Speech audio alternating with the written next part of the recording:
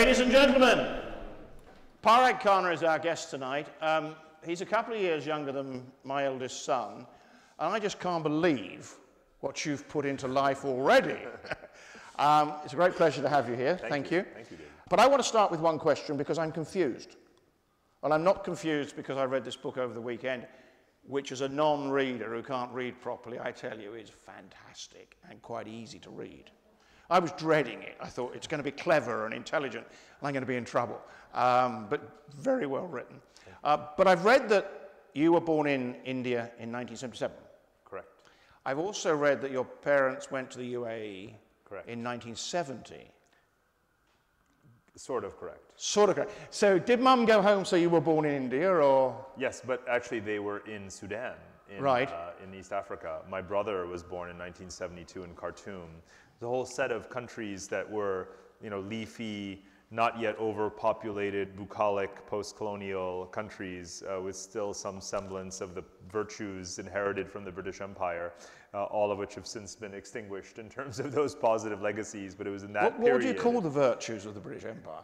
uh, you know, good administrative civil, civil service, obviously, you know, sort of the functioning bureaucracy, the, the, the quality infrastructure that remains in terms of the urban planning, obviously the, the, the, the, the benefiting from the trade networks that continue to exist and thrive. And, and of course, remember that in the 19th century, uh, you know, the British Empire circulated so many Indians to uh, East African countries, and so there was still this sort of um, you know, uh, continuity in Indian Ocean trading networks. But you know, I think as countries became more insular, uh, you know, they're- actually increased, their populations grew, but their capacity decreased. A lot of things atrophied basically in these countries, and that's obviously what you're seeing uh, today in many ways.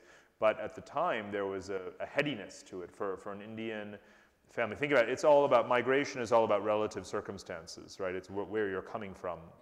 So when the when the oil rush began in the 70s, Yeah, yeah. you know, uh, qualified, educated Indians uh, like my parents. My mother was actually uh one of the first sort of computer scientists coming out of India, one of the first females to graduate from IIT. My dad had a you know, very good business education. So to get an opportunity to move to Abu Dhabi, uh, so, so from India to, to Khartoum, then to Abu Dhabi, uh, working for Tata Exports, and Tata today is obviously one of India's biggest brands. It was obviously still India's largest company back then, or very much already, but with a much lower sort of you know value of goods that were you know tractors and rotary dial telephones and things like this. But it was a huge opportunity. Um, so that's why I was, by coincidence, born in India, but already living in the in the UAE, basically. Uh, so I, I spent my childhood there. Right. Well, you've, you've gone on to become a senior uh, geopolitical advisor to the US government, uh, Special Forces operation in Iraq and Afghanistan. Um, but how did you feel when Jeremy Hunt quoted your book recently? Well, it was a, it was a positive surprise. Uh, I mean, the backstory is that, uh, you know, as, as you well know, or, or maybe don't follow as much, there are many dimensions to Brexit, and I feel like the ones that are covered are, are not trivial or superficial, but are certainly the inside parliamentary kinds of gamesmanship episodes that are going on. But there is the entire international dimension of maintaining or rebuilding your commercial relations with the rest of the world. And so Jeremy Hunt was uh, early this year very early in the year, um, traveling in Malaysia and, and Singapore. So we had a dinner, and uh, he gave a speech at the IISS, which is, of course, one of the august British uh, strategic think tanks, and they have an outpost in Singapore. So, uh, so you know, I, I had a chance to have a very small group dinner with him, conversation with him, and, uh, and he gave that lecture and quoted some of the statistics in the book about. Did you know he was going to quote it? No, no, I had no, no idea. Right. No, absolutely not. Uh, in fact, uh, at the time that he quoted the book, he didn't physically have the book, at least not from me. Uh, so I, I, I met him after he had actually uh, quoted me. Um, But was it published or had he got an advance on it uh, somewhere? yeah, of course, yeah, yeah. So I mean, someone in the FCO had advance, uh, Yeah. advance copy. Um, But you know, the uh, again, you know, Singapore is one of those places with which, of course, Britain has very strong ties.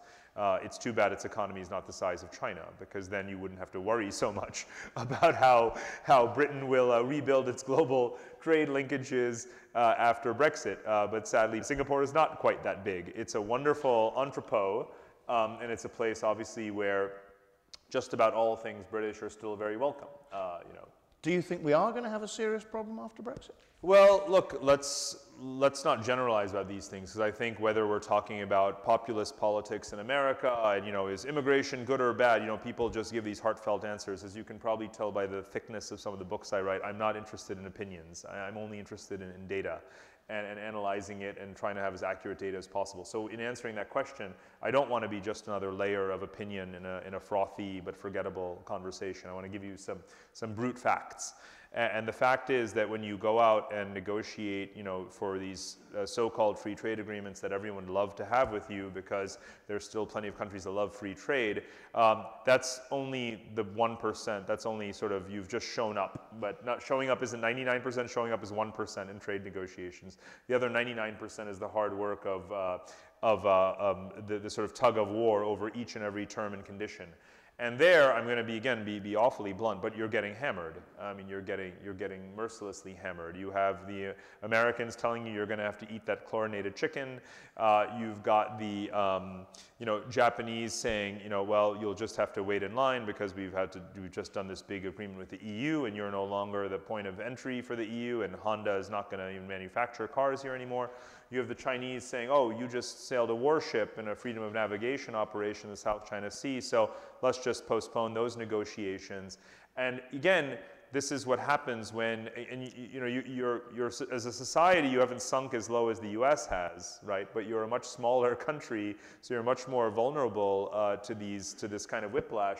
But you will really have to wait in line. And even the, even the United States has been told by Japan you know, we're really busy with the Trans-Pacific Partnership right now. It would have been better if you had joined that agreement, which you, by the way, America created and then opted not to join. So it's just not a priority for us to have a bilateral free trade agreement with you. Um, you know, how about you instead just come back and, um, you know, join the TPP? Now this is, again, all of these, these are rude awakenings. They're rude awakenings for America. They're rude awakenings for Britain. And even when you are, in the case of America, the senior partner in a geopolitical alliance with Japan, which Americans still think of as a country that owes it everything and it still protects, you have them giving you this kind of uh, uh, pushback. So if that happens to America, just imagine what's happening to you. And I was told yesterday I did a lunch for a whole bunch of lords, peers of the, the House of Lords, and, uh, and one of them said, you know, but if you look at the history of EU trade negotiations, um, you know, they actually do sometimes grab a lot of, uh, you know, go for a lot of quick wins, and a lot of free trade negotiations have been with smaller countries and markets that go much faster than the big ones, so maybe we'll get in there quick. And I said, yes, that's because those countries are all small and vulnerable and make very significant, almost existential economic compromises. And haven't just wrecked their party. And, and I say to my, and, I, and I, so I said to him, I was like, is that the way you want to be perceived as a small and you know third tier country that will make any compromise before the EU to have, a, have an agreement? Because that's obviously not the position that you in any case are formally yeah. representing. I don't know what you've heard from Brussels today. It probably hasn't been what, what uh, Brexiteers wanted. So again, fact-based answers here around where you stand. Theresa May went to India, did not exactly get some kind of grand, all-encompassing, um, you know, free trade agreement in including services. Now, I applaud the agenda of a high-value, services-driven economy such as Britain is in wanting to innovate a new kind of trade agreement that involves services better than existing trade agreements do. However, that's where you need armies of lawyers, right, in order to actually get it done. And all of the trade lawyers on earth have been negotiating exactly those things in Geneva for the last 15 years. And I have some news for you. They've gotten absolutely nowhere. And on short notice, understaffed, without a template or a code book for exactly what you want from every individual country in the world, it's just not going to happen overnight. So again, I'm just stating the facts. I, mean, I, I wasn't going to get into Brexit. so I want to talk about your book. Really? But, but yeah, but, but I'm fascinated by that. David Davis argues that Canada plus plus plus plus plus works and would work quickly because everything has already been negotiated and agreed with somebody. You just have to Tipp-Ex out whoever and put in United Kingdom. Do you think that's true? It, it's self-evidently not true. Right. what, what more I have to say than that? Again, every country has its own set of peculiarities and preferences. We have moved away from a world of universal, all-encompassing trade liberalization yeah. agendas towards bilateral ones where countries feel much more empowered to protect their domestic sectors or interests and exclude those. And they may very well be excluding the very things that you want them to open up in.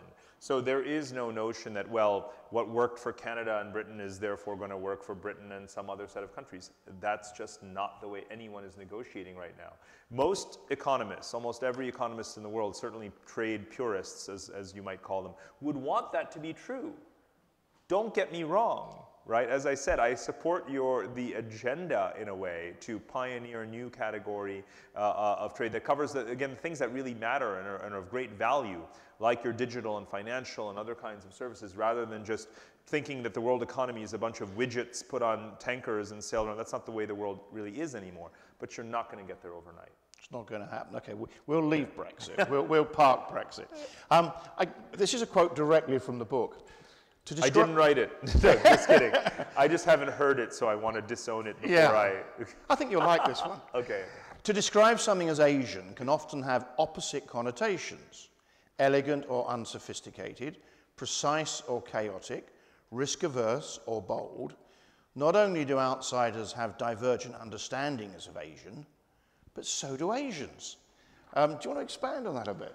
Sure. I mean, you know, this part of the motivation of writing the book was simply to point out the ob two obvious facts to people. Um, the first is there are 5 billion people in, in Asia, right? Not just the 1.5 billion who are in China. And that alone, I think, is a great public service I'll give myself credit for because for 20 years, we've had books about Asia, purportedly about Asia, that are basically 99% about China, with a couple of pages devoted to the other 3.5 billion people. But the further you look into the future, the more you see that Asia, Asians, the other 3.5 billion, are also claiming their rightful place. They may not be at the center of the universe where China wants to be, but the second fact is that Asia's history, uh, you know, 4,000 years of, of um, interactions among themselves, has, has almost always been multipolar. China has never dominated all of Asia, ever, literally never right? It's had its tributary system, which they like to harken back to. Look at a map, Google China tributary system, largest expanse, if you want to, right? And see what you get. It's not all of Asia. It's a sliver of the geographic Asia. It's certainly um, you know, nothing like the 5 billion people. It never has and it never will. The only Asian power to have really dominated the full geography was the Mongols. That was a really, really long time ago, and it's not going to happen again. A lot of things have intervened. Uh, a lot of things have happened in the intervening years, like uh, nuclear deterrence, let's say, sovereignty, uh, a few other forces that militate against the idea that everything is just China. So yes, you can have you know, contradictory understandings of Asia on that simple geographic and territorial thing, and then also the aesthetic things mm. that, that you mentioned about sort of, you know, how do we understand Asia? Because there is, Japan is Asia. You know, we, we, we still like to talk about Japan you, as the Western kind of outpost like Australia, you know, as if Japanese and Australians, they're not, they're not Asian. Well, you surprised like me by including Australia. I'm not sure a lot of my Australian mates would think of themselves as Asian. Well, so, but you could have quoted that too. I have this, you know, a very explicitly worded paragraph where I say, you know, the word, the, the, the adjective Asian is a geographic descriptor, right? I'm not saying, and, and I say, actually, I, I thought you would have wanted to quote this. I say Australians are white Asians. Russians are white Asians. Get, get, get, you, I mean, I'm not saying that other people will use the nomenclature that I am, but I am saying they should because I'm actually just using standard literal terminology, right? Uh, you know, so it's not an ethnic, it cannot be an ethnic descriptor because there's no such thing as an ethnic Asian. You can be an ethnic Indian like me, you can be ethnically Chinese or Japanese, but Asian is a geography, right? So there's nothing wrong with including Australia. So imagine, I mean, I have not had any pushback from Australia yet. I have said, you are the white Asians, and that was on the cover of the Australian Financial Review as an excerpt of this book. And instead what I'm hearing more and more is, yeah, let's accept it. That's what I'm hearing. So of course, yeah, yes, yeah. we all have Australian friends. We all have Russian friends who might say, my goodness, this guy's written a chapter of his book about the Asianization of Russia. Well, we're not Asian. We aspire to be European and we we own half of London, ha ha. You know, so yes. But as I point out in the book, the, the ethnographic mix of Russia, it does not look like its hockey team, right? Which is all sort of, you know, white Slavic guys. Um, it's a very diverse country. The fastest growing populations in Russia are, in fact, um, the, the Muslim Turkic uh, populations, for example. So all of our countries are more diverse than we think. And, and in the book, you quote Kevin Rudd, um, a former uh, Australian Prime Minister who went on to be um, Foreign Secretary. It's about eight prime yeah, ministers you, ago. You quote him as counting? trying, trying to create a grouping akin to Europe. With so he meant it not, not certainly not facetiously. He meant it aspirationally, but he's far too serious and knowledgeable uh, a scholar, diplomat, and statesman to uh, you know to to not be aware that it's uh, never really going to happen in that way. And, and this is a critical thing actually, because I, I like him a great deal, but uh, he didn't mean. He used the phrase Asian Union, but of course he knows that Asia is far too diverse. There will never be an Asian Union like a European Union, right? And this is one of the points I try to make. All of the Eurocentric analogies from which we derive all of our theories of international relations, all of the analogies we like to use to uh, project the future of the world about can, you know, who will be number one, who is the hegemon, and this kind of thing. All of that is rubbish when you look in the Asian context, right? Again, you're talking about six or seven mutually unintelligible civilizations with anywhere from hundreds of millions to over a billion people, none of whom have ever and will ever bow before each other, who will never have a common currency, central bank, or army, or supranational parliament. None of those things will actually happen in Asia. But that's not the yardstick of Asian convergence or integration. Asians have their own metrics of these things. For Asians, it's good enough to trade more with each other than they do with you. Because remember, not 30 years ago, they depended way more on trade with us than with each other. Today, that's flipped on its head. They trade way more with each other than they do with us. Right? And that for them is really, uh, for anyone, by any measure, an astounding degree of progress. You, you say in the book that Europe is, more pow- is more powerful as a system than merely a region. Right. But that in Asia, you don't think that's going to be true at all. Should I have campaigned against Brexit on that? well, I don't know. uh, you know, so again, no, no, no. I believe that Asia is becoming greater than the sum of its parts, right? And that that is all it takes to be, you know, um, you know, something that's meaningful as a system. So again, Asia today is greater than the sum of its parts. For for 500 years.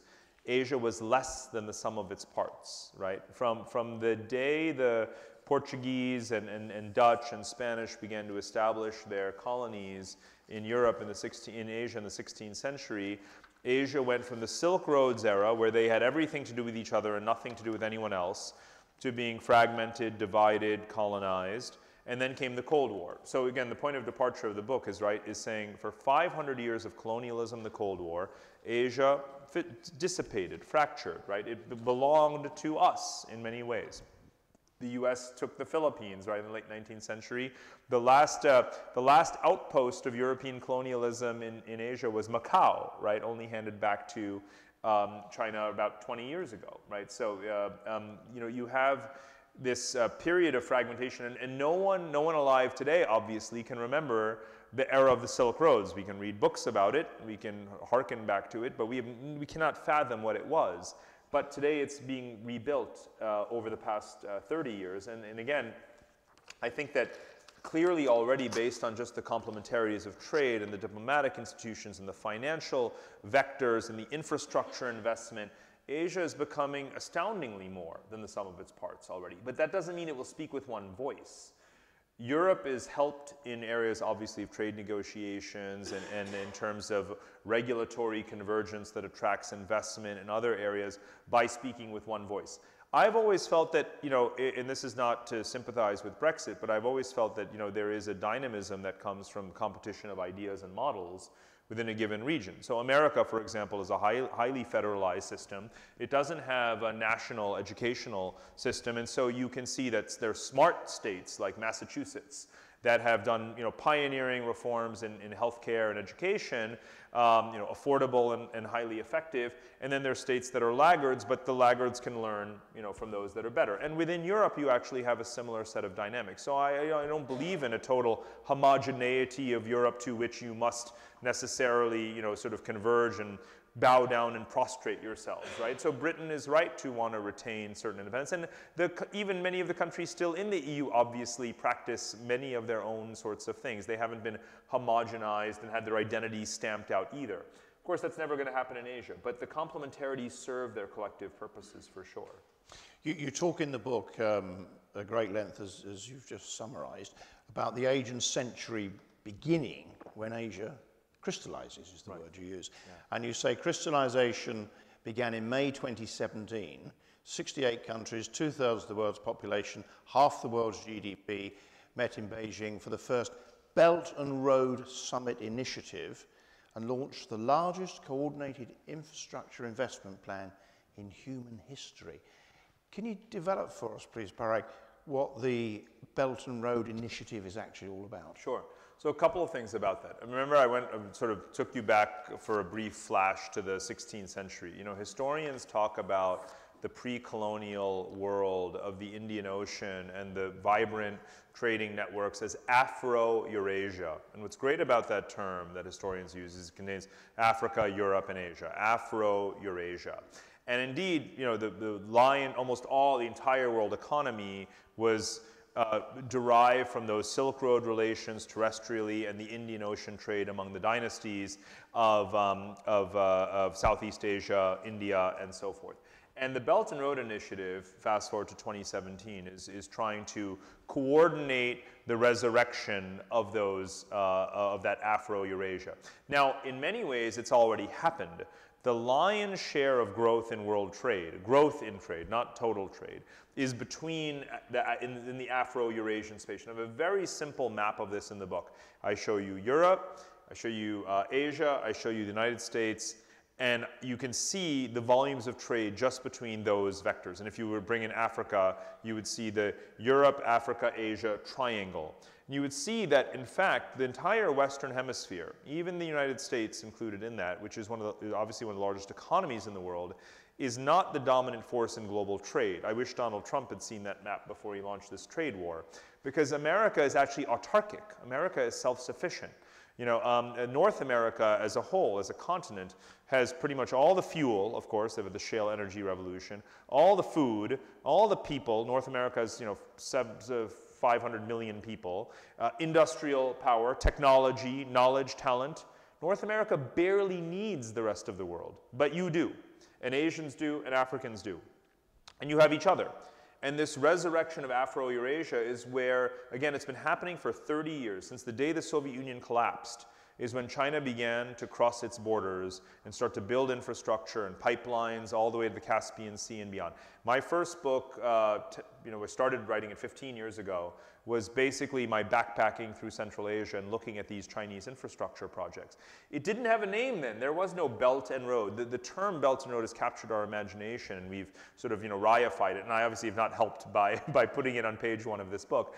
However, it, it is to say that that's been happening as a natural process. There was no question that as soon as the Soviet Union collapsed, Afro-Eurasia would be reborn. In retrospect, it is so obvious, and now we have the evidence. And now, 30 years into the process, China said, you know what? Let's get this stuff more coordinated, more organized, and let's put a trillion dollars of money behind it, our money. And now everyone else is putting their money too. So the critical thing is, and, and this wasn't part of your question, but I know that it comes up all the time, is the geopolitical implications. Because for many people, um, you know, it was born with China.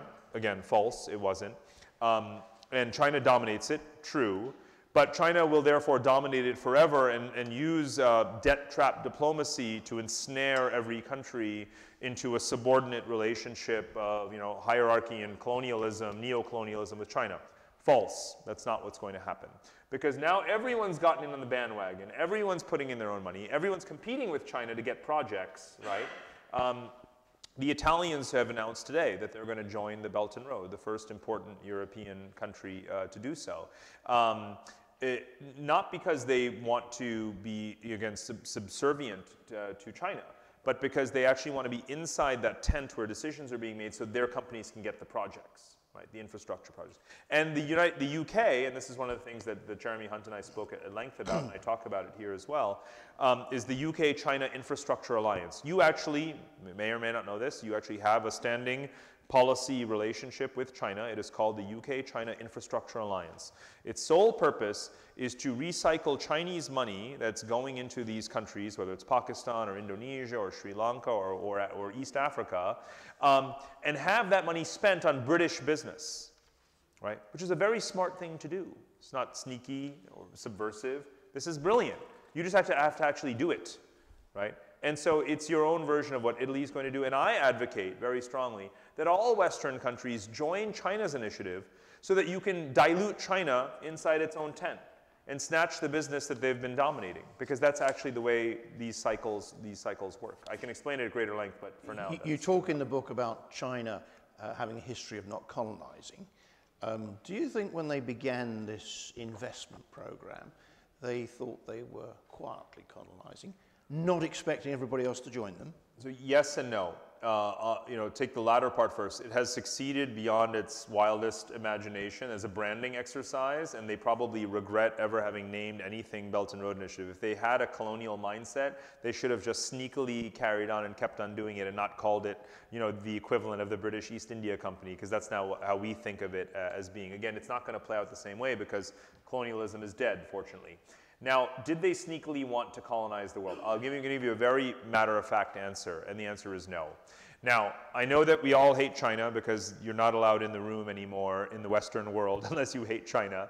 But I want to state some facts uh, for the record as someone who does understand the country as well as, uh, you know, non-sinologist can. I do go there very often and have traveled, driven across the country and written now my sixth book that deals heavily with China.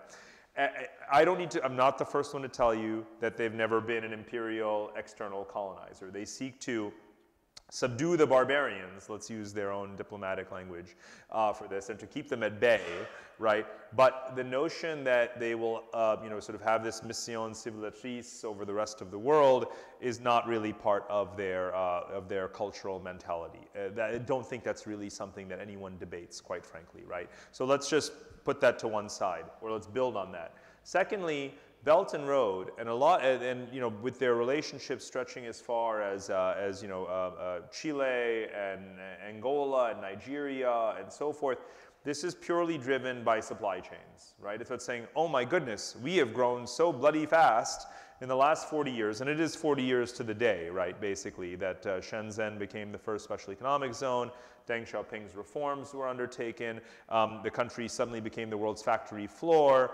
um, you know, built up these massive trade surpluses, and now is the world's largest economy. It, it's pretty much the blink of an eye. So they caught themselves off guard and they said, and, and they realized, oh my goodness, we're going to need to import uh, a lot of resources from everywhere. And of course, they are the largest commodities importer in the world. So now they're out there almost defensively saying, we got to buy all this stuff. We also need to protect it. So first of all, we need to build lots of infrastructure because all of these countries from which we're getting our oil and gas and minerals and stuff are pretty much shit because they are former British and former French, colonies that have not done anything for their infrastructure in 70 years, right? So I'm one of these Indians who doesn't necessarily think colonialism was all that bad, you know. Uh, and, and, and, quite frankly, what smart countries do is they accept history, they take the, they make the most of the experience, and they build on what was good, and they move on. Like Singapore, the little place where I, I've lived for the last uh, few years. Singapore is a country that's made the most of the colonial experience and improved upon it. The infrastructure is better, the government's better, right? Um, just about everything is better than the way you left it, and you left it pretty well. Um, you know, or, or better than it was a century before, let's say. You know, Hong Kong, uh, same thing. Now, there, those places, though most of the world, most of the commodities exporting countries, again, the African countries, have hardly improved themselves while their populations have tripled and their infrastructure has fallen into decay. So China said, well, if we're going to be, you know, buying all of your oil and gas and cobalt and aluminum and iron ore and so on, you know, you should really have better ports and railways, don't you think? And so these countries said, yeah, except we have no money, right? We've been heavily indebted poor countries. There's an official term for that. It's HIPC, H-I-P-C. It's a World Bank acronym. We've been heavily indebted poor countries with absolutely no, no one, we're abandoned by capital markets. No one lends to us. Where we borrow, it's at 20% or whatever, usurious uh, interest rates. So China comes along and says, fine, we're going to build it for you bring in some Chinese workers, we'll do it a lot faster. And these countries have massively profited from this. Yes, their debt levels have gone up and so forth. Then there's the security bit. Okay, it's like, well, now here we are, China, importing all the world's raw materials, and it all flows through the Strait of Malacca, which we don't control. and the U.S. could cut this off at any point in time. So we definitely need to have, you know, better warships, submarines, maybe some private military companies protecting this and that oil and gas field. So China's at the moment still technically doing the bare minimum, I would say, to protect their physical supply chains. It's actually the bare minimum. I mean, if, if the shoe were on the other foot, right, uh, yeah. we'd be saying, let's go in there, great guns. We better colonize that place. We can't trust that that, that country. Let's, you know, let, we better teach them democracy or whatever. This is, you know, classic American 19th century speak because this is, this is what, what America did. So they honestly don't have a colonial mindset. What they're doing is largely defensive. It has certainly offensive sort of tones to it, but you really don't see Chinese out there firing their guns off, right? Because the difference between uh, China today and Britain then, or America in the 20th century, um, is again sovereignty and the right to say no. And what China is hyper cautious about is the fact that if they, uh, you know, deliver a, a beatdown, uh, you know, to any small, frail, weak country that has crossed them financially or otherwise, the whole world is going to gang up on them. Everyone, everyone on the planet Earth is watching China for every little misstep right? Again, you know, we, you got to do colonialism before there was democracy, sovereignty, transparency, civil society, scrutiny, and all of these things. You got away with it for centuries. In, the, in, in America got away with it because it was the dirty tricks of the Cold War, right? And, uh, you know, sort of divide and conquer authoritarianism, you know, sort of alliance politics was the order of the day. China has no such luck right? You know, in, uh, if you go to Islamabad today at the airport, they have a counter. It says, you know, welcome to our Chinese friends, right? It's basically in the, they register their cell phones and so forth. This is not because they're going to get VIP treatment, right? It's to track them, to monitor them. Everywhere every Chinese person goes, they are being watched. And one Chinese person does one thing wrong, nowhere in that country, whether it's Zambia or Nigeria or Angola, is afraid to put a bullet in their head, right? You had the bullets back then. America had the bullets in its day. China is afraid to use a single bullet. Very different circumstances. Very, very different. You talk about building democracy. Humphrey and I were talking about this with a bridge or something when we were discussing. Humphrey's written a great book, Democracy Kills. Yeah. One we, of your classics. We were talking about it. But you, you, can't build democracy. We, we established and agreed that. But um, going back, would it be paranoia in this country thinking that China will behave as we might have behaved in centuries past, when, for example, we look at them investing in our nuclear fuel program. Right. Do you think we're paranoid, worrying that they will turn it off one day or turn it into a bomb or it depends. I mean, look, there's no doubt that there is this broader technological undercurrent of the ability of many countries, not just China, to infiltrate and weaponize, you know, infrastructure, yeah. whether it's critical infrastructure like electricity grids, power plants, nuclear Huey installations. Phones. It could be, you know, could be, you know, mobile phones, um, and you do want to guard against that. But again, you have the right to say no. Dozens of countries in the world have re-regulated their investment, uh, you know, sort of um, uh, laws so that um, China cannot, or no, no foreign investor can own more than 49 percent um, you know, uh, of, of a critical infrastructure. Australia's done it, you know, Kazakhstan's doing it, even uh, Canada has done it. When Canada, when CNOOC, the Canadian oil company, bought Nexen, uh, the North American energy company uh, headquartered in Canada, the Canadian regulator said, okay, we're going to let this happen. This will be the first and the last, right? Because there is this sense of discomfort about it. And that's not even one of those assets that you digitally manipulate yeah. in order to conduct a cyber attack on, on a country. So again, it's up to you. With Huawei, um, you know, I, am on the fence about this because they operate both largely as a, as a, you know, as a commercial business providing a, a, high value, low cost technology of, of, of commendable quality, most people would say, um, but there are those back doors and you never know what's going to happen with, with, your data. Uh, most countries actually don't seem to really care uh, because their data has already been taken by the US National Security Agency anyway.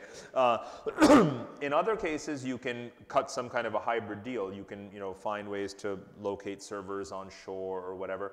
In other cases, you want to resist Huawei because it's actually a commercial opportunity to block them for a few years until Western companies like Ericsson and, and, Nokia get their act together. I mean, this is a gift to Ericsson and Nokia, the anti-Huawei backlash. If they don't use these, this, this uh, backlash or blockage of Huawei to turn themselves into tech juggernauts again, shame on them, right? Because they've just been given this uh, new lease on life for the next uh, couple of years to build up. So there'll be a there'll be a 5G marketplace, you know, and there'll be interoperability. But you know, we already have the internet, and clearly it's a highly vulnerable network. So we're going to have more and more of that. Yes, I mean, again, just because China can shut down your electricity grid or someone can, you know, do it through an electromagnetic pulse or whatever, you know, the fact is that that's the world we live in and it's not, China didn't build that world, right? China is going to exploit it. North Koreans already exploit it. Now, you've all been hacked by North Korea uh, already at some point, right? we all have.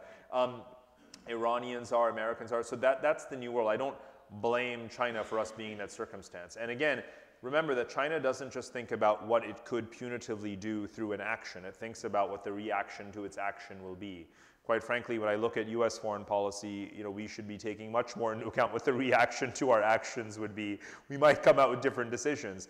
In the case of China, the evidence suggests that they uh, are therefore much more cautious about their actions. And I'll give you a very, again, concrete example, and it's not an insignificant one. It's, it's, it's dead central. It's the Doklam Plateau standoff between India and China from the summer of 2017. Um, there's no doubt that the Chinese PLA could have quashed the Indian army at the border in the summer of 2017 and go and go YouTube this instance. It was quite a heated uh, standoff. But guess who backed down? China did. Why would they do that? Because they're not just thinking about how they could, they could you know, humiliate India. They're thinking about the fact that they have 13 other neighbors. And what happens to all of your investments in your Belt and Road projects? What is the price you pay for humiliating India in a, in a random, middle of nowhere Himalayan uh, border?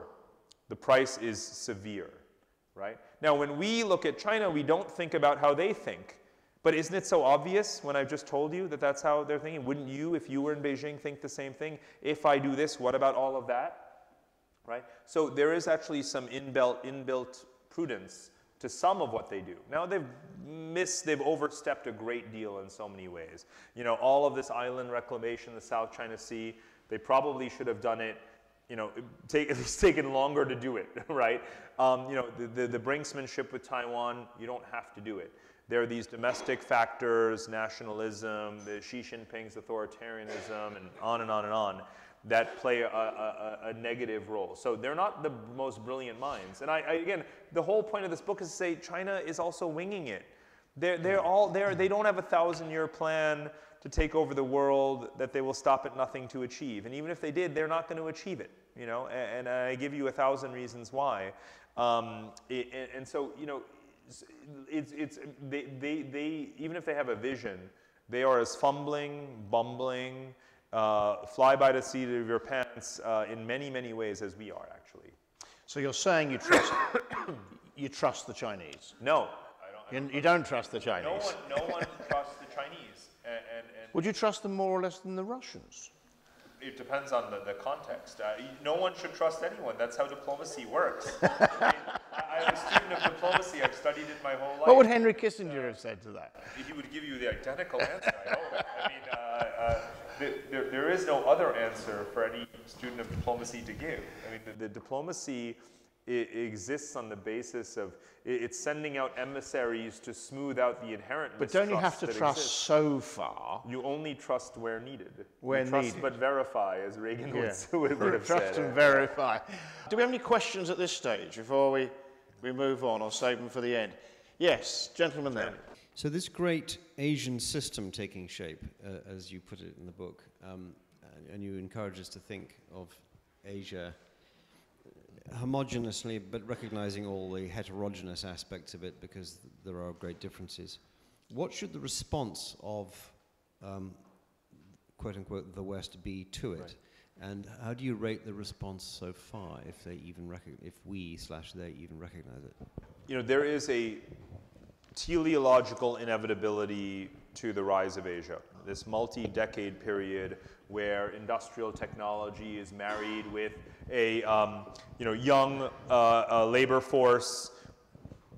and global markets, right? Whether it is Europe during the Industrial Revolution, America in the 20th century, and Asia today. There's an absolute, utter inevitability to it. Trying to stop the rise of Asia, I mean, first of all, it's already happened. So, I mean, I could have called this book The Present is Asian. It's just not a catchy title, uh, but it's true. Um, so there's nothing you can do about it. So, so therefore, I think you're asking the right question, which is, so how do you make the most of it is really the, the only meaningful, useful question to be asking. And there, there is very little common Western response. And this is where I point to the great divergence in the Atlantic Alliance, because Europe is looking at Asia and seeing, in, as with, with Italy and with uh, Germany and its export uh, focus on Asia, um, is saying, let's ride this wave, let's make money off of it. You know, Europe trades, yourselves still included in this figure, $1.6 trillion a year with Asia, and, less, and only less than half of that is with China. About half of it is with China. That's pretty amazing. You only trade $1 trillion a year with the United States of America. Only 1 trillion. You are already more, in, obviously not culturally, but in terms of just where your you know, trade prospects are, uh, you know, you're already building a Eurasian system already in terms of, and then there's, that's before you have all these linkages of Belt and Road infrastructure and high-speed rails and so forth. And then in terms of trade negotiations, the EU-Japan free trade agreement has just kicked in. There'll be similar ones with ASEAN and with India. China is promising to open up gradually, and it's making far more promises to open up to Europe than it is to America because it probably wants to punish America, and it's going to punish America. It's going to buy a lot more Airbus planes in the coming years than it is Boeing planes, right? Uh, all of these things are going to happen. So Europe is, is got the right Asia strategy. The European Union launched a couple of months ago what they call the Asia Connectivity Initiative, which is yet more subsidies, export promotion, uh, you know, risk guarantees, and so forth for European companies to go out there and to start to capture some of those deals because Asia is where trillions of dollars a year are being spent uh, in infrastructure finance. And again, the UK China Infrastructure Alliance fits into that broader paradigm. So I think, I think Europe is actually doing a pretty good job uh, of this. It's not doing it, again, in a common way other than a couple of things like the Asia Connectivity Initiative. Most stuff is bilateral. It's Germany saying, to hell with you slow growth Eurozone neighbors, we're going to start selling stuff in, in Asia, right? Sometimes it's um, European countries saying, you know what, we're sick of America's Iran policy. Let's try, as they're fumbling towards now, uh, create a special purpose vehicle to finance trade with Iran outside of America's, you know, prying, meddling, weaponization of finance and sanctions. Things like this. It's Europeans saying, you know what, Russia's paid its you know, done its penance. Uh, you're stuck with Putin forever. But there's oil and gas there that we need, and there's, you know, we're being cut out of these markets, you know, to hell with you, Trump and, and American Congress, let's go into Russia. These are some pretty important countries where clearly, you know, Europe diverges uh, from, from, from, from the US. Meanwhile, the US failed to join the Trans-Pacific Partnership, has launched this trade war with China, and, and so forth, and is certainly not being particularly friendly towards Europe either. So there's very little common Western policy on Asia. At this point, the train's left the station. Go and win whatever game you can, and worry very little about these so-called common values. Where those common values are necessary, uh, they will express themselves. So again, Europe and America see 100% eye to eye that China cheats, China steals intellectual property. China has forced technology transfer. It hurts Americans as much as Europeans. We're joined at the hip there. Let's go out there and hammer China on the head about this. But you're going about it in, in different ways, obviously. But I see plenty of ways in which the West can remain, um, you know, um, you know, uh, uh, ethically, morally, principally, militarily, strategically allied without pretending that you should shoot yourselves in the foot economically as a price to pay for that unity. I think you, we go back to the beginning where you uh, talked about China having uh, 1.5 billion of 5 mm, billion, mm -hmm. was mm-hmm. it, in, in population. That um, banging China, banging China. That's the way the West thinks. But let's not develop that. Let's come to a question here with Humphrey. If Asia was involved in rewriting a world order, and if there was, say, a new UN charter, the present one says uh, that it affirms the individual human rights, how would we define the New World Order a human right? Mm-hmm. It's a great question, but I, think it's actually a layered, sort of textured question. The first is just about order. You know, and the definition of order is lies much more in the distribution of power than the values that govern it, right? So th- those are right there separate things. Right now, there is a distribution of power where Asia has risen, Europe is still immensely central, and so is the United States. So if you look at any economic map of the world, it's tripolar, you know, uh, and, and the rest of the world barely matters, quite frankly, right? So it's a American, European, Asian world. Within Asia, you also have multiple poles, but you don't have a common perspective. So now you have a world in which, you know, again, even within the West, there's disagreements about values. Certainly in Asia, there's disagreements about values. Let me remind everyone, again, there are more people living in democracies in Asia, democracies, democracies in Asia, than the rest of the planet Earth.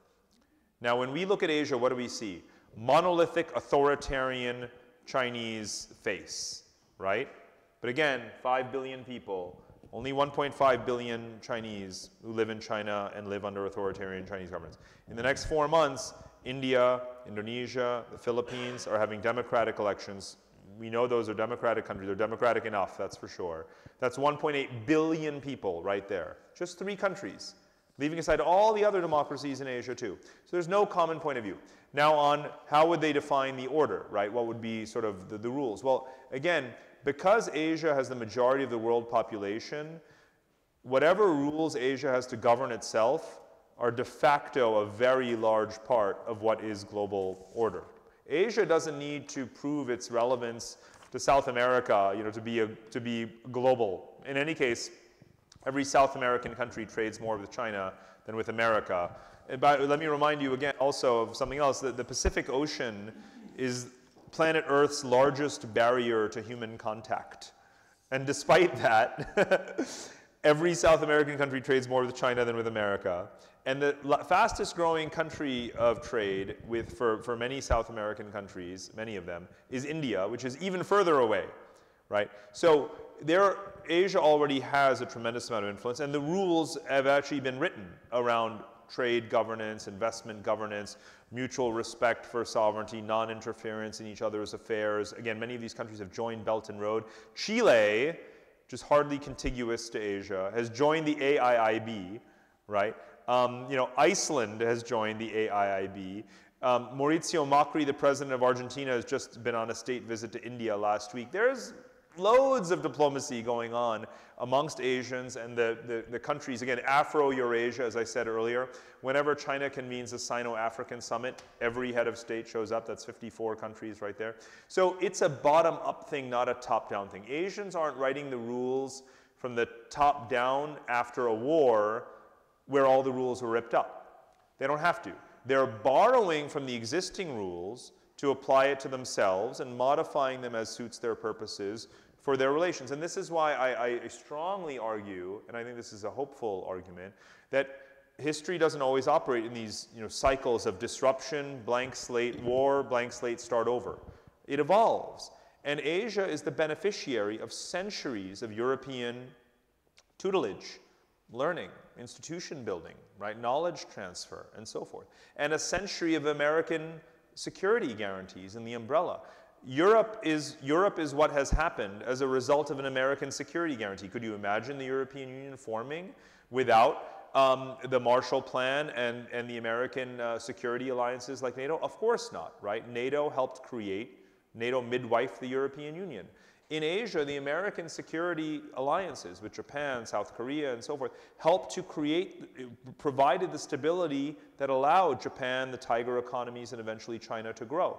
So think of these things as evolutionary, right? The West allowed Asia to become what it is, and Asia has learned a lot from it. So it's not either or. There's so much in those last 250 years of Asian experience with the West that Asia has learned from and, and doesn't want to throw away and replace it with authoritarian, monolithic Chinese, you know, sort of uh, demagoguery. That, that's not what Asia is. And it's not what it's going to be. So I don't, I don't, I, I think that there, and, and uh, you know, it's all just about modifying a little bit, modifying your Western lessons to suit Asian realities. So uh, a future, you know, global charter of human rights it's not necessarily going to look like some kind of, uh, you know, top-down Confucianist, everyone must obey, um, you know, the philosopher king or party kind of doctrine. Because again, most Asians live in democracies, right? So let's relax a little bit about it. It's, it's a conversation, it's a dialogue. Of course, you know, in, in large sections towards the end of the book, I talk about these things and I say, look, there is maybe a new set of Asian values, maybe collective responsibility uh, and, and, and, and, you know, sort of deference towards a, a sort of um, um, a, a, sort of social stability matter more to Asians than on a, on a spectrum than it does to us, where we privilege and, and, and prize free speech and individual liberty over all else because we already have a certain sense of national social stability and, and a bit more homogeneity actually whereas in asia you have so many multi-racial multi-ethnic uh, multi-religious countries that if you just shout fire in a crowded theater uh, physical or digital that, that's bad news and you can sympathize i hope with why Asian governments, you know, sort of are a bit cautious about the sort of extreme forms of, of, of liberalism. Again, uh, I come from democratic countries, right? I'm an Indian, grew up in the United States largely. I'm not, I'm not hardly an apologist for Chinese authoritarianism. But I, I live in these countries and I put myself in their shoes, and surely you can sympathize with some of these narrow incremental modifications on what we would uh, otherwise impose on them. Uh, you know, the less ignorant we are about them, the more we can sympathize. Now, should we tolerate them using that as an excuse for um, unnecessary uh, censorship? No, I don't agree with that at all, right? And there's far more censorship uh, of the media uh, than, there, than there should be in, uh, in Asian countries. And very often it's just a self-serving excuse, right, to maintain um, you know, sort of a, a, government privilege and impunity. I obviously disagree with that, and we should be calling that bluff uh, as often as possible, and then that might help with, with reforms. But Asians don't even have the confidence in any way, in, in any case, to, to rewrite some kind of global code, and they wouldn't do it from the top down. It's really a bottom-up process. You mentioned war, which I want to come back to, Parag, but, but following on Humphrey's question, you say in the book, Asians are now seeing themselves as the center of the world, that Western journalists, officials, businessmen, scholars, students touring Asia to observe how to build world-class infrastructures, futuristic cities, and examine social policies that promote national solidarity. They are now aspiring to be like us. We now, they were, we now aspire to be like them. You talk about academia, artificial intelligence, sports, you mentioned basketball. But what about crime? Where do you see crime going as Asia goes into this new world? You can't generalize about it. I have maybe just a couple of paragraphs on this, yeah, on this very important very small, uh, yeah. topic. Because I could be, the reason is some of these areas that I condense, um, I condense into a sort of recitation of what the statistics are, simply to point out how divergent it is. It's like saying women's rights okay, well, there are countries in Asia that have had multiple female prime ministers, women sit on corporate boards, you know, and, and, uh, and, have very high standing in society. And then there's the exact opposite, right? I did not just describe Yemen or Syria, as you can well imagine. I was talking about, you know, yeah. Japan, Korea, and so forth. And of course, you know, New Zealand and so forth. Again, geographically Asian and, and inspirational to many Asians, right? When in Asians, even yellow or brown Asians, for lack of a better, to just use as a uh, colloquial terminology, when they wake up in the morning, they actually do read about the things that Australia, New Zealand, Japan, Taiwan, and Korea, again, democracies, first-rate, world-class, gold standard democracies, are doing. And that actually has an impact on them. So in that sense, you know, you don't think of New Zealand, you don't think of Kiwis as Asians, but if you read the Asian press, they're, they're, they're quite impressed. Wow, there's a you know, under 40 something female um, prime minister of New Zealand. She gets a lot of play in Asia, right? So Asians can, can learn from their geographic neighbors, even if they're not culturally uh, sort, of, sort of familiar, but they become more so every day. So crime is also one of these things. It's like, okay, you've got high crime countries, but I, I live in a country where no one locks their door, right? Uh, Singapore, there, there is no crime. I mean, there, there's like meaningless, you know, sort of crime. So what does that mean? And so, but I want to I want to use this though as an excuse to talk about um, uh, governance more broadly, and again perceptions of us and them in politics, because I want to use the case of the Philippines. The Philippines has a president, uh, Rodrigo Duterte, who we you know universally revile. We think of as, of as an absolute illiberal thug, a guy who's bragged about pushing people out of helicopters, whose drug war has cost you know whatever thousands of lives um, you know, who's unleashed paramilitary forces to more or less shoot, shoot, uh, shoot to kill, um, but is wildly popular. He might well be right now, as we sit here, is more popular than Theresa May or Donald Trump. Uh, you know, he has something like, you know, I don't know, 75% approval rating, uh, and so does Prime Minister Modi. So why has he got? Well, Modi's got elections and other problems Yeah. as well. But Uh, so does why, Duterte. why I mentioned these countries going to elections this year. You know, that's among them. And by the way, they might both lose their jobs in the next four months. They're popular now, but Asians are very, very fickle. Again, we think of them as being, uh, you know, lemming-like, obedient people living in fear of their masters. There, there's 30, 40 years of history of Asians tossing out their leaders, from Suharto to Marcos and, and, and uh, changes of government uh, all across the region. Only in China and North Korea and like, you know, Vietnam and a couple of places are people genuinely in fear uh, of their government, right? Uh, and in a broad sense. Again, I, I pity um, the, the independent, you know, the, the journalists, right, who are being targeted in these, in these extrajudicial sort of killings. Modi is guilty of it. Duterte is, is intimidating uh, the great um, uh, Maria Ressa, right, who many of you probably know right now, who's, who's a friend of mine and a very outspoken uh, uh, Filipino journalist. So there are those, there, the, again, I say speak out about those issues. But crime, we, again, it's uh, another example of a very simple matter of putting yourself in their shoes. If you were a lower middle class, a working class, or poor Filipino, which is most Filipinos, and you've had a relative gunned down by a drug lord or have relatives who are addicted to drugs, and you know that it was just pushed on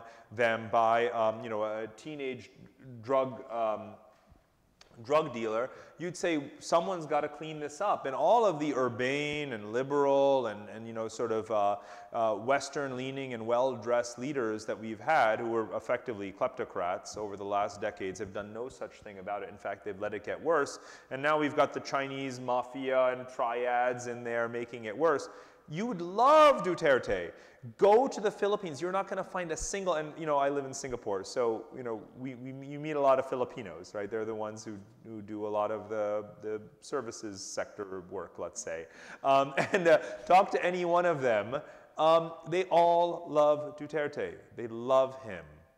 They don't worship him. They, they know his flaws. They're not idiots, right? They know that he's not a nice guy right? But they're, and, they're, and, and they don't think they're making a devil's bargain because they, believe, they actually believe in their democracy. So on the one hand, got to clean up this war on drugs. On the other hand, if he gets too illiberal, we'll throw him out. That same thing's happening to Modi right now. Modi was elected in this wave of popularity, swept into power. I and everyone else thought, oh, finally, someone's going to have 10 straight years to fix India, and he's got a good technocratic program, infrastructure investment, so forth. Sitting here right now, we don't know if the guy's going to have a job in four months, right? So the people are not as, uh, you know, sort of obedient uh, to, to authority as we think they are. And that's a great thing. You know, it means they're getting smarter, they're paying attention. There's rapid feedback loops in, in, in politics. But there's no question as to why he's popular. There, it should be so obvious to everyone. So crime, yeah, where it's bad, people are to uh, are to uh, accept leaders who are to do something about it. They're very impatient. Impatience is the greatest virtue in a democracy, quite frankly. It's the great, great virtue in any society. Never accept second best. Oh, totally. which, which you Totally. obviously are right Uh, now. I, I don't think we set out to do that. Uh, we obviously are now. That's an interesting statement for another day. But Well, um, I'll say this about Singapore, right? Because you know I, I live there, and it's uh, it's it's not uh, our understanding of what a completely open, multi-party, you know, free and fair sort of liberal democracy uh, is. I mean, they have free and fair elections, but they they they circumvent which parties can run based on a variety of ethnic and other kinds of uh, criteria uh, in the name of social stability, but it certainly helps to enforce, reinforce the status of the incumbent party. But you have a very educated population, right? They're the, probably the most educated people in the world, all five million of them. Um, and, uh, and, and they, they are the most impatient, demanding, complaining uh, people in the world, right? And they, they, will, they will absolutely not hesitate to stick it to their government, you know, vocally, um, you know, even absent a fully free uh, press.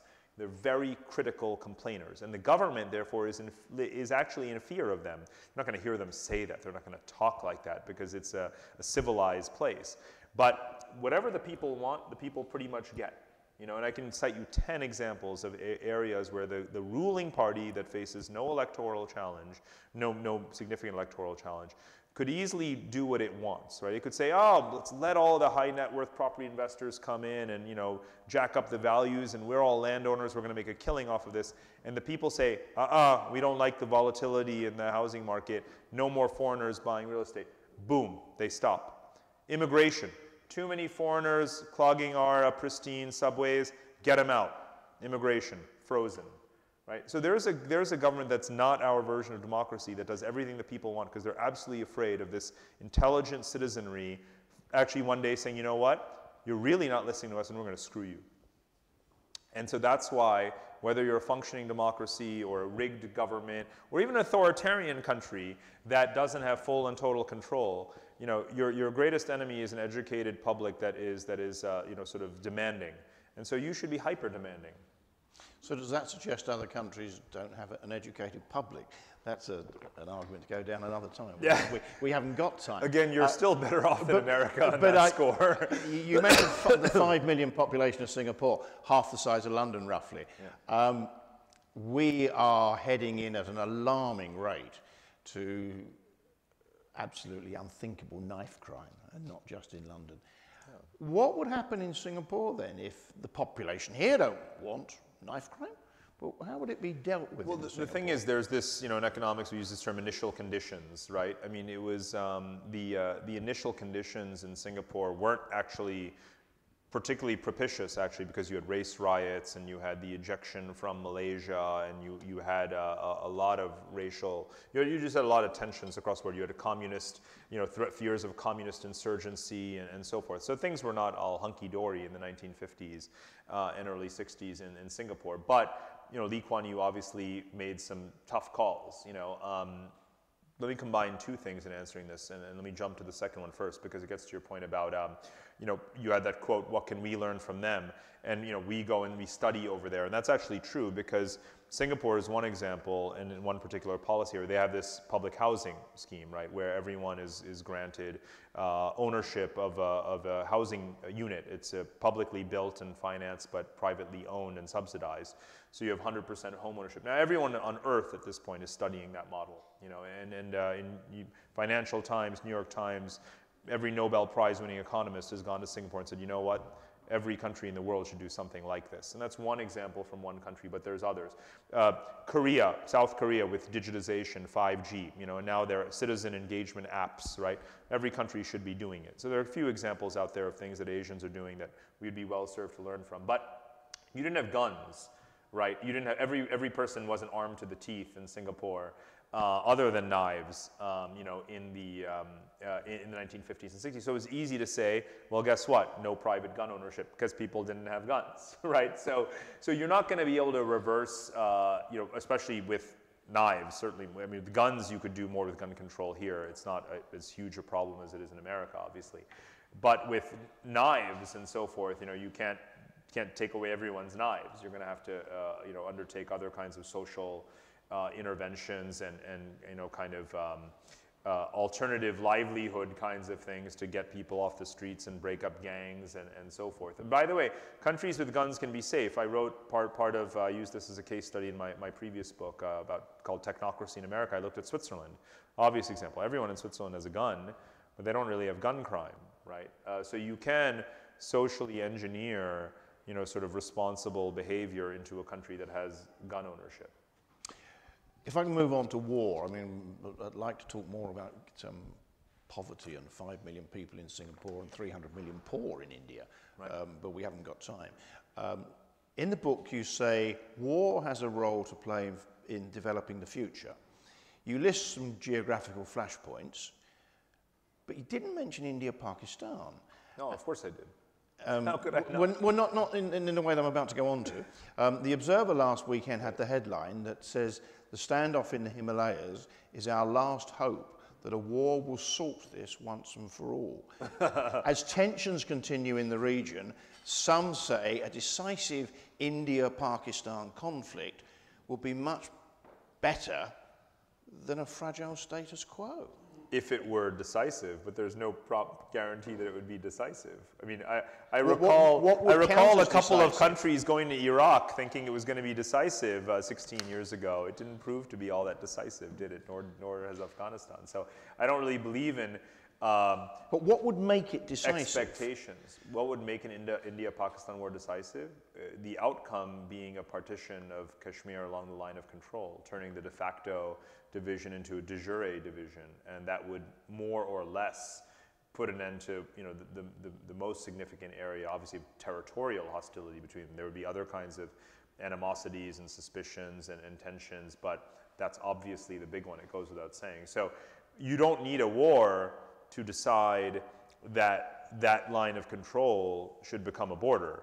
You simply need to um, have a blind process by which uh, the decision over doing so is outsourced to an anonymous international committee, binational committee, and the decision held over to a subsequent administration from the previous one. So a very step-by-step technocratic process where the incumbent government wouldn't lose an election because it was seen to have been the one to make a compromise and cede sovereignty to the other.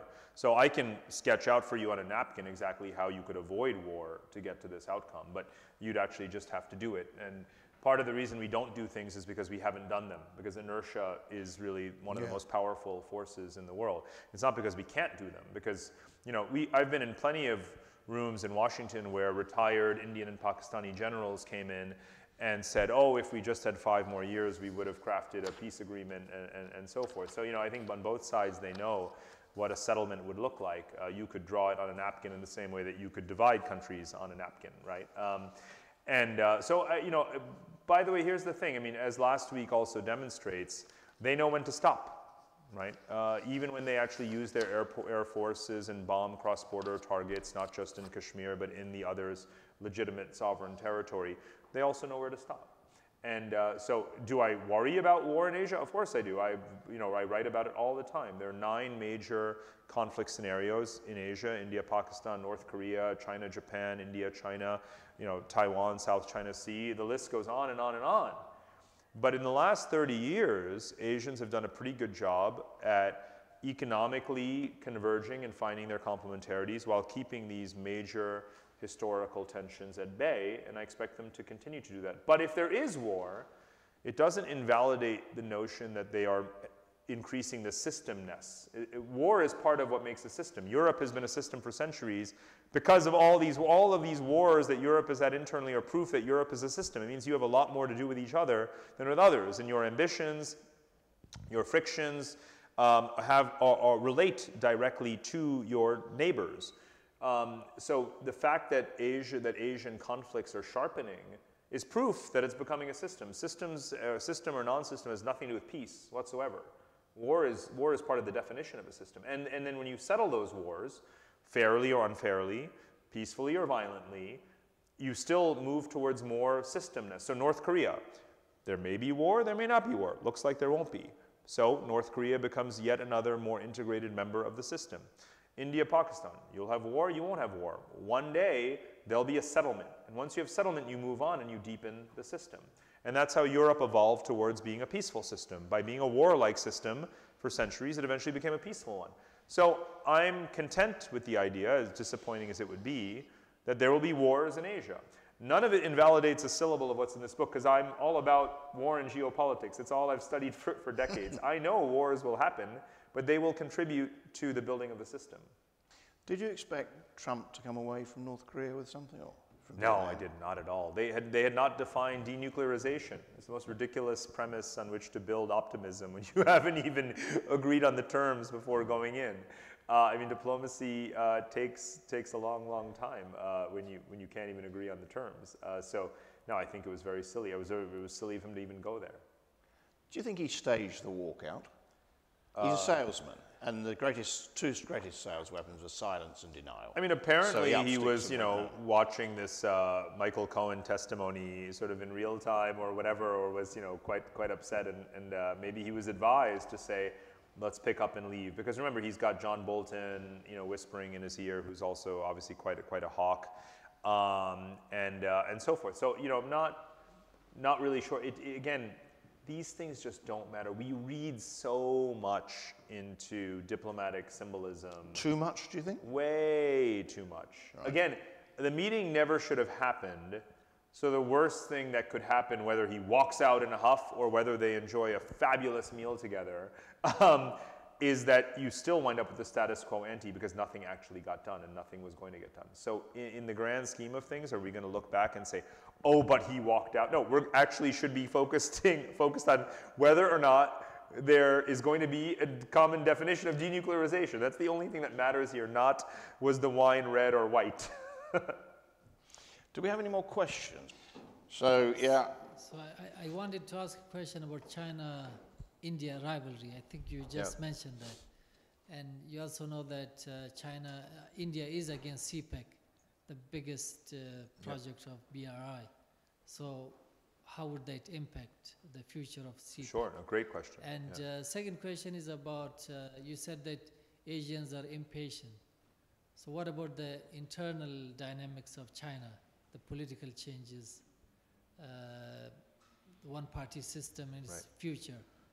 and its impact on the future sure. of Asia? Great question. So let me take the second one first. Look, I mean, again, why do, to the extent that we can, you know, to the extent that we can genuinely, meaningfully gauge or measure these things, Chinese are, are happy enough with their system. That goes without saying. You have tens of thousands of protests in China all the time, but they're not protests against this, the, the uh, Central Standing Committee in Beijing. They're protests against um, local Communist Party officials or companies or whomever has engaged in corrupt behavior or malfeasance, and therefore uh, they use those protests and even social media to identify those people, and then the, the, the, Beijing actually will sack those people and imprison them. It's part of the, not all of the tens of thousands of people that have been thrown into jail in China in the anti-corruption drive have been enemies of Xi Jinping. I don't know, maybe it's a few hundred, but but thousands have been actually, you know, guilty of low-level petty corruption, and that satisfies the people uh, in some ways. So the material progress alone in China is sufficient to make the case that China is not going to experience any change in the type of regime. It will, this regime will stay and persist, but it will evolve and adapt. And it has evolved and adapted in many, many ways over the last 20, 30 years through technology, institutional mechanisms, how the party interacts with the state and, and with, each, with itself and so forth. And this is now an enormous literature and area of study. If you actually think that this Communist Party, this, this group of people or the way they run the country, just because it's seven men who you can't tell apart from each other, don't worry, neither can I, um, you know, if you just think it's seven guys and they just sit there like, you know, uh, Soviet apparatchiks making decisions and that's the way it was under Mao, you just don't know anything about China, right? it, it is by, by any measure a highly adaptive regime procedurally. We have changed way less than China has, like way less. We don't change at all compared to America does literally does not change. There hasn't been a constitutional amendment in China since in America since the early 1970s. So quite frankly, as much as I would like to see a different government in China, we're not going to see a different government in China.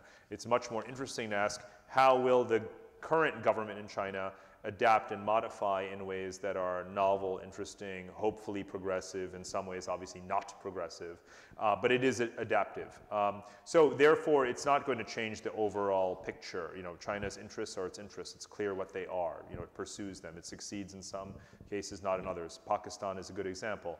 Um, so CPEC, uh, as you mentioned, is the China-Pakistan Economic Corridor which is one of the pillars of the Belt and Road Initiative. But as you well know, it long predates Belt and Road. Pakistan has been a client state of China since the late 1950s, basically. You know, the Karakoram highway network began to develop in the 60s. Um, the, it is the largest recipient now, obviously, of Chinese uh, lending and infrastructure projects. But you can clearly see, again, it's not a colony of, um, uh, of China. Actually, the joke in Pakistan is that CPEC, China-Pakistan Economic Corridor, stands for the colonization of Pakistan for the enrichment of China.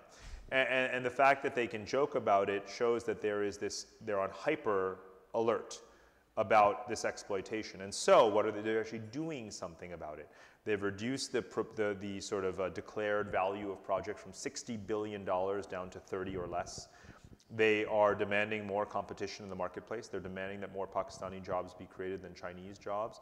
And all of these things. When word got out that one of the Chinese provinces that has a lot of um, um, stone masonry factories wanted to extract marble from quarries in Pakistan and bring it back to China in order to make these refined marble products and sell them back to Pakistan, they went ballistic in Pakistan. They said, no way, we've heard of this before.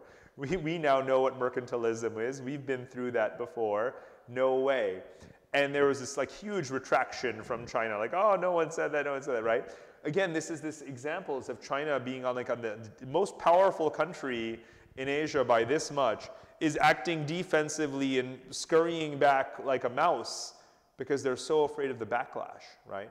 So they now have to give out lots of gifts, you know, uh, to all of these countries if they want to keep them on their on their good side, and Pakistan is one of them. So, but the China-Pakistan relationship remains very, very strong. Obviously, you know, when Imran Khan was uh, elected, you should have heard his first press conference.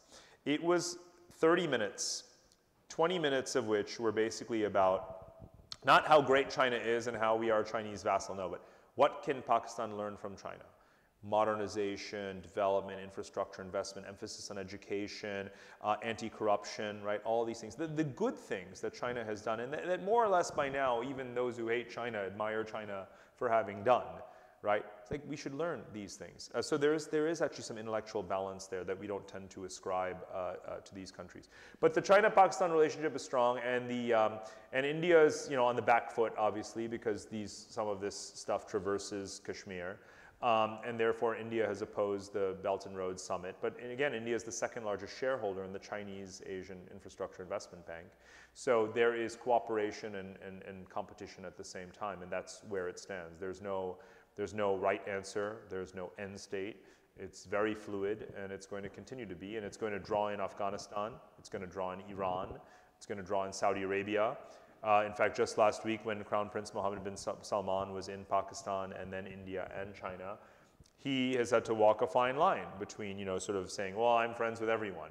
So what's going on is sort of, you know, this broader phenomenon of what, of what is called frenemies, right? Frenemies, they're friends and enemies. And that's the way Asians have, have actually always been with each other. They're frenemies. Can I stop you at that point, Parag? Because we've got four more questions, only 10 minutes. We're not okay. going to get them all in. So I was wondering, while initially when Belt and Road started, Chinese investments were mainly driven by political interests. So like we see Port of Hambantota in Sri Lanka, as well as other strategic choices.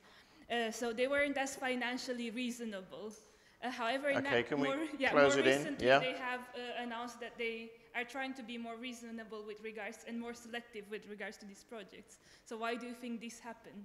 So it, it's not true that Belt and Road started out focusing on you know political and by the way, just as an aside, there really is no clear separation between political and economic, and you know, return on investment being purely financial consideration with no politics. Don't kid yourself, right? The history of the World Bank is not the history of a purely neutral, independent and impartial organization doling out loans on a purely merit-based set of procedures, right? Uh, the, the, United States would not be so interested in who the president of the World Bank is if that's how it actually worked. Everything is political always. There is no distinction there never has been, there never will be. Do not ever kid yourself about this. We are not angels. The Chinese are no better and no worse. They learned it from us to a large degree, right? So I want to be absolutely clear as someone who's been involved in numerous diplomatic institutions and in the military and in US government and, and, and so forth. So what has, what has led to the scaling back, revision? It's uh, Chinese state-owned companies saying, you know what, we actually do want to make some money off of these things. So just lending out money indiscriminately to countries that are never going to pay it back is not really good for us, especially since credit is getting tightened back in China on us. Why should we go out and lose money on the one hand and then have our credit tightened on the other hand? That's not good for us as companies. And the further Chinese companies go from the mainland, the more they think like a typical multinational profit-driven company. And there, there's plenty of research on this, and that's a good thing actually, which is part, part of why you might even want to encourage the globalization of Chinese companies, because that's where they actually learn how to act not like state enterprises, right? Because then they have to compete in a proper marketplace where they don't get to set the rules. And in some ways, they re-import those rules back because Huawei and other countries, or Alibaba is a good example. You know, Alibaba is effectively a private company, though there's manipulation of its board and so forth now uh, by, by the government. But China, when, when, Alibaba goes abroad, because it's a big global company now, um, if it says, no, everyone has to use China Union Pay to use the Alibaba platform, right? And so now everyone's going to have to use a Chinese Union Pay credit card because, you know, back in Beijing they say so because they want to promote Union Pay. That's what a state-owned, you know, politically motivated enterprise would have to do. That would be disastrous for Alibaba. Think about all those people who use Visa and MasterCard. They don't get to use Alibaba. That sucks for Alibaba. So Alibaba is telling Beijing, Alibaba is not forcing its customers all over the world to use Union Pay. Alibaba is telling Beijing, you better not impose any of these conditions because we want to be a big you know, global company, and the only way to really succeed is to, is to be open and have open standards and interoperability and so forth. And that's, again, a good thing. So I'm giving you a really seminal example because Alibaba is not a small company, right? Chinese telecoms are going to learn this. Huawei is going to learn this. Everyone's going to learn this. And again, it's a, it's a law of history. Uh, globalization, integration, having to compete in a, in a marketplace is, is how we learn, right? Countries don't end corruption because you dropped a 500 page World Bank report on the minister's desk. Right? The, the, corruption goes down because you made them join, because they joined the World Trade Organization and they sign investment uh, treaties, right? Where you get sued if you're corrupt. That's how you change behavior. But that's a form of globalization. So I'm giving a long answer already. But, um, but anyway, some, some countries will get less investment, some countries will get more. It's political, but it's also, again, about the supply chains more than it is about politics because China doesn't actually care as much about these countries as we think they do. It doesn't want these colonies. It would be gladly abandon them all. Doesn't want to own Angola. Doesn't want to run Angola. By the way, as soon as China starts importing less, less oil from Angola, it pulls people out of Angola, and that's exactly what it's done. Quick question, please. Will populism dynamite the future of Asia as this is dynamiting America at the moment, this is dynamiting Britain? From what you've said, it's dynamiting a solution to the Pakistan-India problem. Populism, simple question to answer. I mean, again, Asians remain by and large very pragmatic, right? It's sort of they don't want their progress of the recent decades to be derailed by either domestic, you know, sort of populism of our anti-globalist variety or in the international let's let's just fight a war for fun kind of a variety. So, you know, ethno-populist nationalism has its place. Again, guys like Duterte, guys like Modi whip up, you know, uh, ethnic or religious sentiment. Um, but the societies, by and large, remain on this pragmatic path. And I'll give you the, the sort of, you know, back and forward tested almost uh, evidence. You can't forward test, but, but my projection is that whoever wins these next elections in India, Indonesia, and the Philippines, they're going to follow the exact same policies. Whoever comes after Duterte, he'll be tough on crime too. He could wear a suit from Savile Row. He's still going to be tough on crime because the people want it. He's going to invest in education, in healthcare, in infrastructure, in jobs. He's going to raise wages. Whoever he or she is, they're going to do the same thing because these are pragmatic policies that poor countries need. And again, like I said, they're not afraid to throw out leaders who don't do the simple, basic, necessary things. And Asia's still in that phase where a five-year-old could figure out how to, what the platforms of policy should be, um, rather than argue about them because there's uneducated people. There's sewer, open sewers, right? Uh, and so on and so forth. So I think it's, it's fairly straightforward, and that's why I don't see populism being a big risk. Uh, you know, and again, I point out in the book, we talk about, you, you pick up the cover of The Economist or, you know, our newspapers and magazines, it's all about hyper, you know, uh, populism is sweeping the world. Borders are going up everywhere. You know, xenophobia and protectionism are the norm. Not true. Five billion people in the world are bringing down borders, having visa-free regimes, opening up to migration, joining trade agreements, and on and on. They're doing the exact opposite of our populism. So our Eurocentric parochialism is, is, is empirically unacceptable. I mean, it's ridiculous. We should laugh at ourselves for being so narrow in our narrow-mindedness. And we should be, when we were to look at the world from outside and say, hmm, let's highlight the countries that are kind of succumbed to this sort of self-defeating uh, and counterproductive populism, we should be so embarrassed to be in that club in America and Britain. So embarrassing, right? Because the rest of the world is not doing that. The rest of the world is not nearly as stupid as we are, to be really, really, really blunt about it. And that's why I'm an expat. That's why I travel abroad, because I know the UK. I did my PhD here. I've lived here. I love it. I'm American, but guess what? We aren't the world, right? You know, 90% of the world population is doing the exact opposite of what we're doing. Thank God, is all I can say. This gentleman here with the glasses. Hello, it's Tom here. Thank you for sharing your insights. Um, I know on your bio it says that in addition to being an author, you also run a strategic advisory business, and it was based on data and scenarios. And I just wondered, what's the most unusual scenario that you've been asked to advise on? In terms of um, crazy scenarios uh, that I've sort of um, encountered, uh, you know, in, in, the real world, um, you know, uh, countries and, and, and, and, whether it's governments or, or, companies don't pay for crazy. You know, they pay for what can we learn for, for uh, from what actually uh, works. So I, I, don't, it's sort of outside the scope of what I do to these, do kind of crazy wild card uh, kinds of scenarios. But uh, what I do notice though through my work is that countries, again, that we don't really appreciate as being pragmatic and, and, and sort of reform oriented, you know, we think they're backwards, dumb, whatever, uh, are actually really, really looking to do pragmatic things to, to fix their, their situations. And, and those are the only kinds of countries uh, that I ever want to work with. Parag, thank you. you. You say in the book, to, to bring this to a conclusion, that until 1880, China, India, and Japan had a GDP greater than the US, UK, France, Germany, and Italy. Then we had the Industrial Revolution. You were on German television towards the end of 2017, and you said, history has not ended, but returned. So we are back to 1880, and the future is clearly Asian. Ladies and gentlemen, Parag Khanna. Thank you.